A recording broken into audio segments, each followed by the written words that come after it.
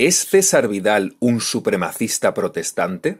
de cómo existe una enorme diferencia entre el norte y el sur de Europa y sobre todo entre el norte y el sur de América y cómo esa diferencia arranca de un hecho que es la gran revolución espiritual que significó la Reforma. Ah, sí. Y si parte de esa reforma, ¿cómo es posible que para principios del siglo XIX la brecha de los PIB per cápita católicos y protestantes fuera mínima? ¿Cómo es posible que España fuera más rica que Noruega y Finlandia, y tan rica como Alemania y Suiza, y que Italia fuera más rica que todas ellas? Sí que ha tardado la reforma en hacer efecto en la mayoría de países. Y que todavía sigue siendo un país tan atractivo que para evitar que se llene con toda la gente que vive en el sur del continente hay que levantar un muro. No existe el fenómeno contrario. En los siglos XVII y XVIII, México era más rico que Estados Unidos. A ningún mexicano en su sano juicio se le hubiera ocurrido cruzar el Río Grande para llegar a las trece colonias y buscar una vida mejor. Estados Unidos nunca ha sido menos protestante y más rico en toda su historia como lo es hoy. E Hispanoamérica nunca ha sido más protestante y menos rica de lo que es hoy en comparación con Europa y Norteamérica y regresar a la pureza de las escrituras fue una revolución de la libertad. La libertad religiosa fuera reconocida en aquellas zonas de Europa donde triunfó la Reforma. La libertad religiosa jamás fue reconocida en las zonas donde triunfó la Reforma. En prácticamente todas ellas estaba prohibido ser católico. Por ejemplo, sostenía que el Espíritu Santo no se complacía cuando se ejecutaba a herejes ¿A quién le podía caber en la cabeza una idea tan extravagante como para pensar que al Espíritu Santo no le encanta ver a los herejes arder en una estaca? Desde luego a los protestantes no les cabía en la cabeza, puesto que se convirtieron en los campeones de Europa en quemar brujas. Cuando los peregrinos del Mayflower, buscando libertad religiosa, no oro y gloria, como buscaban los conquistadores españoles, que eran increíblemente valerosos, de hecho locamente valerosos, pero ellos reconocen en sus crónicas que lo que buscaban era oro y gloria. La gente que vino al norte buscaba libertad de conciencia y libertad de religión. Nada más alejado de la realidad la gente que fue al norte huía de la persecución de otros protestantes en Inglaterra y querían huir hacia otros lugares no para establecer la libertad, sino para establecer su propio régimen de intolerancia donde otras confesiones estarían perseguidas. Para muestra un botón, los anglosajones del norte de América fueron los únicos de todo el continente en ejecutar por brujería. Véase el mítico caso de las brujas de Salem, por ejemplo no encontrarán ustedes un solo caso de ejecución por brujería en la América católica, ya que la Inquisición española primero y el Papa después habían prohibido tal práctica en el mundo católico, mientras que el protestante continuó hasta mucho después. De hecho, podía ser perfectamente un analfabeto y llegar a ser santo. No es que te lo recomendaran, pero había analfabetos santos. Si alguno es aquí peruano, conocerá a San Martín de Porres, que no aprendió a leer y escribir en toda su vida, está en los altares, es un santo y se le puede rezar si eres católico. Y lo único que sabemos de él es que debía de empujar con bastante santidad la escoba en el convento. La reforma recordó algo enormemente importante. La educación es indispensable. Es el caso de Fray Escoba, de Fray Martín de Porres, que es un santo peruano, que lo único que hizo fue empujar una escoba, parece ser que de manera muy santa, por los pasillos y las habitaciones del convento. De todos los santos que hay en la religión católica, tenías que escoger uno que sí sabía leer y escribir. Hasta ese punto llega tu ignorancia. Y además de ser un gran escobista, estudió cirugía, por no hablar de su incansable solidaridad que le hizo ganarse la canonización. No sé de dónde le vendrá a César Vidal tanta animadversión por San Martín de Porres. Quizás es porque era mulato y claro, para la América protestante, donde los matrimonios interraciales estuvieron prohibidos en varios estados hasta la década de 1960, debe de escocer mucho que los católicos fueran tan adelantados. Y tienes que saber leer y escribir para poder leer las escrituras. Y esto hizo que en el año 1536, en la ciudad reformada de Ginebra, se abriera la primera escuela universal, gratuita, obligatoria, para hombres y mujeres, para niños y niñas de la historia. Hay que liberar a la gente de la ignorancia, sostenía la reforma. Las escuelas para todo tipo de niños ya existían de antes, pero claro, no eran obligatorias porque en el mundo católico no se vivían dictaduras teocráticas tan restrictivas como la de Calvino. La asistencia a los servicios religiosos también era obligatoria, y estaban prohibidos el baile, las canciones inadecuadas, el alcohol, el juego, el teatro, la comida lujosa o demasiado abundante y las vestimentas ostentosas. El adulterio o la blasfemia se penaban con la muerte, es decir, lo que Calvino y los suyos consideraban como blasfemia lo cual les llevó a quemar en la hoguera al célebre científico protestante español Miguel Servet, para así demostrar su amor por la ciencia y el saber. Vamos, que era poco más o menos como vivir hoy en día en Afganistán. Servet declaró que Ginebra se había convertido en la nueva Roma. En un barco que se llamaba el Mayflower. En ese barco, y esto es tremendamente importante, la tasa de alfabetización de los varones era de un 80%. La tasa de alfabetización de las mujeres llegaba a cerca de un 70%. La tasa de alfabetización de Guatemala cuando accedió a la emancipación no llegaba al 10% de la población. Fuente de los deseos. Ese es más o menos el rigor histórico de César Vidal para todo. Compara la tasa de alfabetización de un barco con la de un país entero. Los cuáqueros, en esa misma época, mediados del siglo XVII, sabían leer y escribir el 100% de los hombres y de las mujeres. Al sur del continente, cuando se emanciparon del imperio español, el número de personas que sabía leer y escribir no llegaba al 10%. Era la misma proporción que había en España. No te lo crees ni tú. En la España del siglo XVIII había en torno a un 30% de alfabetizados más un 10% de semialfabetizados, si atendemos a las firmas de 9.000 documentos de la época.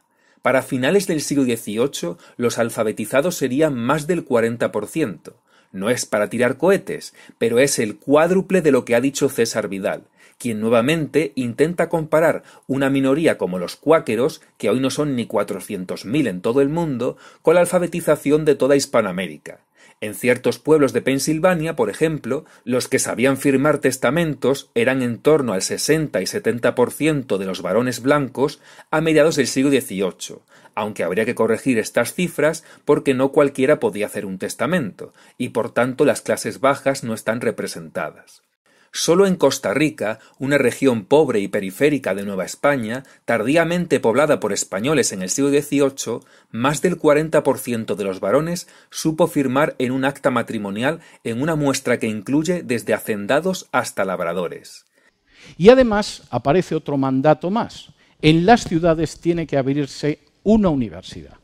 A diferencia de las universidades católicas, no son universidades centradas especialmente en la teología, no son universidades centradas en las élites o en el clero, sino universidades que se abren sobre todo al talento y a personas de toda clase social.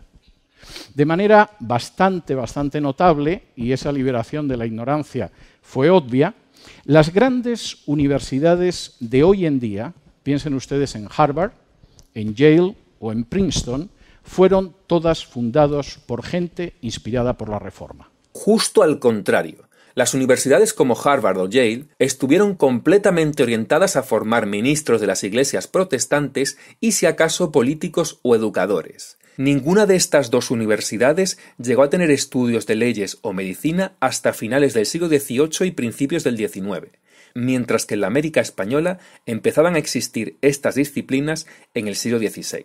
Además, en las universidades de la América española estudiaron indígenas y hasta negros y mulatos, mientras que en Estados Unidos no se pudo ver un negro en la universidad hasta el siglo XIX, y desde luego no llegaría a ser nada común como si lo era en Santo Domingo o en La Habana en el siglo XVII, donde ver mulatos en las universidades era el pan nuestro de cada día.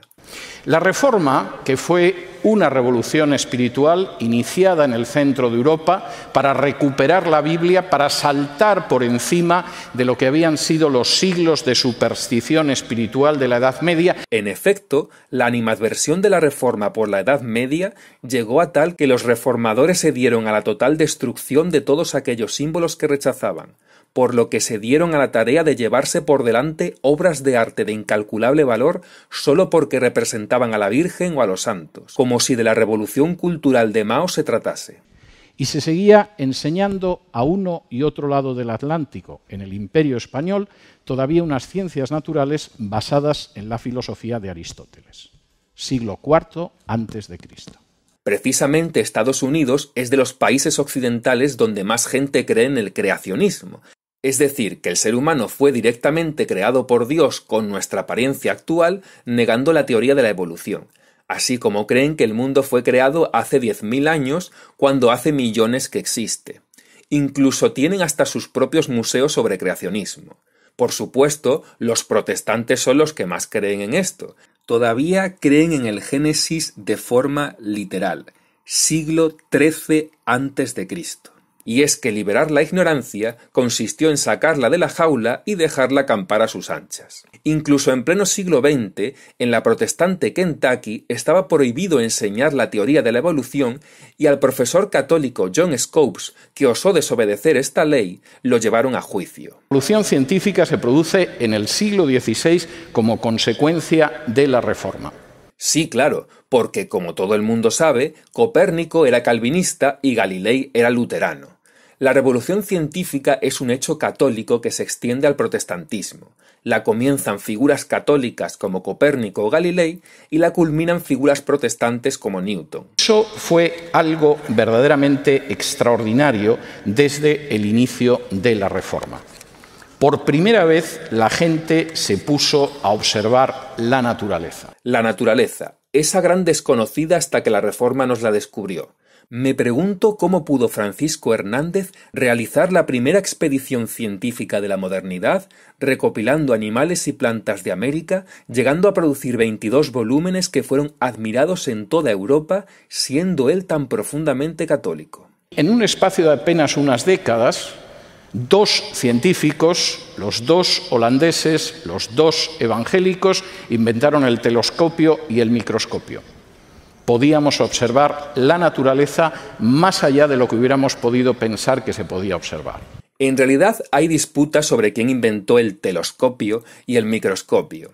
De hecho, también se atribuye a un español el invento del telescopio. Pero es que, además, fue el católico Galilei el primero que le saca partido científico a este invento, ya que mejoró el modelo holandés dándole más aumentos y lo usó para obtener evidencias de que el modelo aristotélico de la incorruptibilidad de los cielos era falso.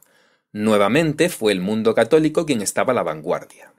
Lo pudieron hacer porque había un método científico que también había creado un científico evangélico, que además escribía libros de política y libros de religión, y que se llamaba Francis Bacon, y que había aprendido que cuando uno observa la naturaleza, aprende más de la naturaleza que si estás encerrado en una celda de un convento pensando en la filosofía que escribió el pagano Aristóteles. A la izquierda, la portada de la obra de García de Céspedes. A la derecha, la portada de la obra de Francis Bacon. A la izquierda, la ciencia católica original, y a la derecha, la marca blanca protestante. Aunque el contenido de ambas obras es diferente, se puede ver que los protestantes leían ciencia católica antes de proceder. ¿Qué sería de Newton si las investigaciones previas del español Domingo de Soto sobre la caída libre de los cuerpos? ¿Qué sería de Darwin sin las observaciones de la naturaleza que hacía Félix de Azara, al cual cita varias veces en su obra? ¿Qué sería de la navegación británica cuando los españoles y portugueses eran eruditos en la materia, cuando los ingleses todavía eran unos analfabetos náuticos, y eso que viven en unas islas? Gracias a tal erudición, los españoles pudieron dar la primera vuelta al mundo y averiguar el perímetro real de la Tierra, entre otras cosas. La misma revolución científica también sería en parte resultado del cambio de paradigma que supuso el descubrimiento de América. Para aquella parte del mundo, como es el caso de nuestras repúblicas, donde no hubo reforma sino contrarreforma, no hubo revolución científica, no hubo un esfuerzo educativo público, gratuito y obligatorio hace cinco siglos. Francis Bacon fue un personaje que no era enseñado en España todavía en el siglo XVIII. En las universidades españolas y por supuesto en las de Hispanoamérica se consideraba que Bacon era un hereje, Isaac Newton, posiblemente el mayor científico de la historia de la humanidad era otro hereje. Mientras que el mundo católico daba luz al calendario más exacto, por cierto, el que usamos hoy en día, el mundo protestante se negó a comenzar a implantarlo hasta más de un siglo después de haberse concebido en la Escuela de Salamanca. Nuevamente el protestantismo se negaba a ver la evidencia científica más básica. Pero bueno, ¿qué se puede esperar cuando los países católicos ya habían escrito las gramáticas de sus propias lenguas, mientras que protestantes como los ingleses tardaron tanto que a los españoles les dio tiempo a redactar dos gramáticas en lenguas indígenas, la náhuatl y la quechua, más de veinte años antes de que saliera la inglesa? Y sí, algunos científicos protestantes eran herejes, pero aún así se leían igualmente en España con modificaciones menores en sus obras o incluso directamente toda la obra, pero con una advertencia de que habían sido condenados. Por no decir que la Inquisición era tan incapaz de mantener la censura que muchos libros prohibidos por la Inquisición se leían en la universidad. En el año 1992, un economista del Banco Mundial llamado John Halley decidió realizar un estudio sobre las creencias espirituales de la gente que había ganado el premio Nobel. Desde el año 1901 al 1990, el 64% de los premios Nobel de Ciencias fueron evangélicos. Tengo que decir que no he encontrado a tal economista John Halley por ninguna parte, luego no sé si existirá o no. Lo que he podido encontrar es que efectivamente hay muchos más protestantes que católicos que han ganado el Nobel, algo que no es de extrañar teniendo en cuenta que dicho premio se entrega en Suecia, una nación donde hasta los años 70 los católicos tenían prohibido ser funcionarios del Estado. No obstante, no podemos perder de vista que igual que en el siglo XVI el mundo católico era más avanzado, en el XX el mundo protestante toma la delantera, de igual forma que en el siglo XXI la mayor parte de los Nobel serán de Extremo Oriente, siempre y cuando sea un premio objetivo y no se esté vendiendo al mejor postor como cuando le dieron a Barack Obama el Nobel de la Paz. No me extrañaría que alguna universidad u otro tipo de empresas estuvieran comprando premios para sus alumnos o empleados para darse prestigio a sí mismas. En cualquier caso, aunque más protestantes que católicos obtengan los Nobel de Ciencias, más de la tercera parte de los premios Nobel que creen en Cristo aparecen en la categoría de cristianos porque no se sabe de qué confesión concreta son. Curiosamente, habiendo hoy 80 millones de calvinistas en el mundo, no figura ninguno que haya obtenido un Nobel de Física, y tampoco es que anden sobrados en otras categorías. Sí, los calvinistas. ¿Se acuerdan de esos calvinistas que abrieron la primera escuela pública obligatoria de la humanidad? Pues no les sirvió de nada para ganar premios Nobel. Hasta los cuáqueros, que no llegan ni a 400.000 en todo el mundo en la actualidad, tienen un Nobel de Física. Como podemos ver, no existe siquiera una correlación entre pertenecer a iglesias reformadas y ganar premios Nobel, ya que solo unas pocas reformadas acaparan casi todos los premios. Son los casos de la anglicana o la luterana, por ejemplo, que es verdad que cuando dejaron de quemar miles de brujas y se centraron más en la ciencia, obtuvieron buenos resultados. No obstante, los judíos son tan solo 13 millones en el mundo, y en proporción arrasan en los premios Nobel respecto de cualquier vertiente cristiana, en términos estadísticos, un judío tiene varias decenas de posibilidades más que un protestante de conseguir el galardón. Luego, si tan importante es la religión para la ciencia, quizás la reforma debería consistir en renegar de Cristo y del Nuevo Testamento y hacernos todos judíos para progresar tanto como ellos. De todas formas, estos datos son del siglo XX. En el siglo XXI la tendencia de los científicos es la de hacerse cada vez más ateos o agnósticos, o por lo menos no prestarle mucha atención a la religión. Quisiera decir que el 22% de judíos, judíos que vivían en naciones de trasfondo evangélico, no judíos que vivieran en naciones de trasfondo islámico o católico. De modo que la sabiduría y la libertad de la ignorancia había servido precisamente incluso a gente que solo conocía la Biblia de manera parcial, que solo conocía su primera parte, como eran los judíos. Ah, vale, entonces a los judíos se les pega lo protestante, pero a los católicos no. Muy científica esa valoración. Tampoco hay premios Nobel de países protestantes que no son de blancos, como Kenia, Botswana, Jamaica, Sudáfrica, Malawi o Namibia. Lo digo por si lo quieres añadir también a tu lista de correlaciones sin causalidad alguna.